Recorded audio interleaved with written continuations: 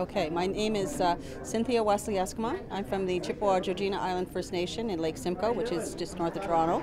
I now live in Thunder Bay. I'm the Vice Provost of Aboriginal Initiatives in, in Thunder Bay and Orillia. And my relationship to the TRC is, uh, is reconciliation, and also I was uh, inducted as an honorary witness yesterday. Survivor intergenerational effect. My, my, mother went to residential school at Shingwauk for eight years, and my stepfather went for 14, uh, 12 years because he went when he was four years old. So he went pretty young, and so in our household, like a lot of households during that era of, of young people coming out of residential schools, it was pretty was a pretty tense time. There's a lot of drinking and you know carrying on. I think a lot of people reacting. Really, no, I don't think they really understood the implications of their experience. I don't think they really understood that that they had been fundamentally damaged because it was the only experience that many of them had ever had.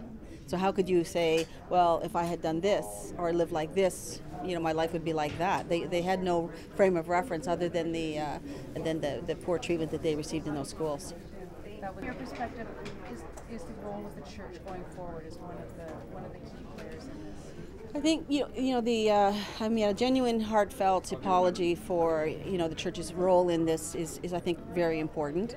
An acknowledgement that it happened, that uh, that it, you know not trying to say well it wasn't that bad. You know people have we've heard people say that well it wasn't that bad. Well you don't know. Were you there? You know it was it was pretty bad. So I think an acknowledgement. And then I think one of the things that the church can do is is uh, you know which is near and dear to my heart is work with your young people it's your young people that really need to be well educated on these on these issues.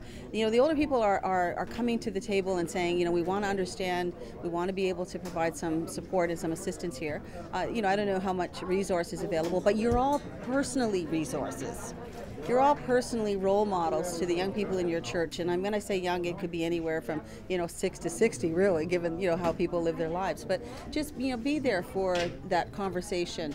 You know, I'm meeting with the United Church talking about the doctrine of discovery and, and, and, and trying to push that off the table because they realize now that, that this was not empty land, that they did not have a right to do the kinds of damages that were done here for, for the people that lived here.